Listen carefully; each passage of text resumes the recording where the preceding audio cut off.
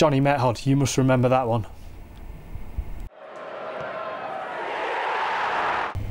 And these two, Cloughie scored some crackers. And what about that one away at Old Trafford from Pearcey? And of course, Robert Earnshaw. But the one fresh in everybody's minds is from that man, Lewis McGugan. It's a long way out. Lewis McGugan's going to hit it anyway. Oh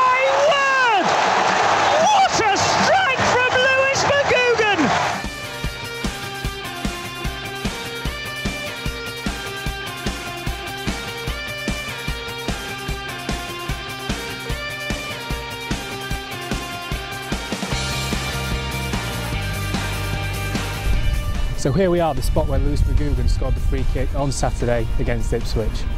He's joining us in the studio with Luke Chambers, and we've also got a very special interview with England cricketer Stuart Broad.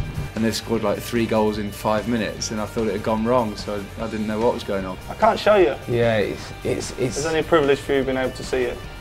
I'm just it. I'm not obviously. I've I've just thought. To be honest, I just thought to get it on target. That was the main important thing to get it on target. Mick- Chrissy Cohen's come running over to me. He said, "Oh, I just said to him, look, you might as well shoot. It's half time, but if you score, I'm going home." so we were having a bit of a laugh on the way back after that. But pick a point of attack. Oh, That was oh, decent. no! That was decent. Unlucky, well done.